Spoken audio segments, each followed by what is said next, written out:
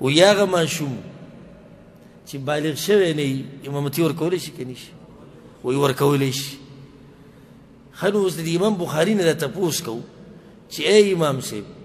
تا چې دوی چې ولد الزنا امامتي ورکول شي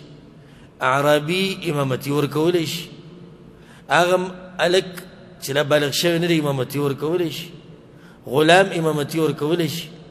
تاسر څه دلیل دی وی لقول النبي صلی الله علیه وسلم یامهم اقراهم لکتاب الله وی پیغمبر خو چې هغه سړی به امام کیږي چې په قران باندې ډیر پویږي نو چې غلام په قران پوه شي مخ کې دي شي خبره ډیره مزدار نه کړې او بل دا خبره دا صحیح مسله نه ده صحیح دا ګوره دې فطرت سره هم برابري لکه ډېرې مسلې دي چې د سړي په زړه کې پرتې خو بیانولی نه شي ځکه چې ته مولا نه نه اورېدلې خو چې کله بیان کړي بل عالم او دی واوري دی او زما زړه کې هم دقه وه خو هلته د ویلو طاقت مې نه و خو دا خبر د فطرت سره هم برابر چې سړی صحیح د غلام دی ولد الزنا دی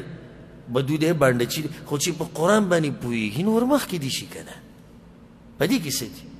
بیا د هغه هلک امامتي چې هغه بالغ شوی نه دی جایز دی د رسول صلی په زمانه کې دي شوي خو دې کې شرط دی چې هغه ماشوم چې هغه ممیز هغه یو چې ممیز هغه چاته چې هغه په خبت باندې پوهېږي دې سه ماشومانه نه هوښیار چې هغه له بالغ شي نه بلکې دا درته ووایم چې دې سه ماشومانه شته چې له بالغ شوي نه دي او د هغو نه ښه پوهېږي چې څلوېښت کاله ومري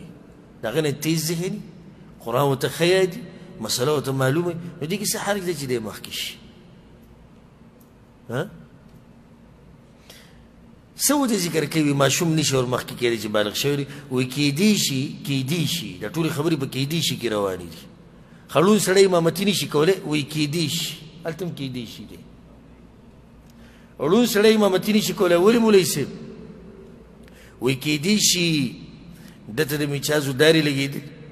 او ده نه یې لیدلي کیدی شي نو بس دی د امامتي نه کوي ښه ماشوم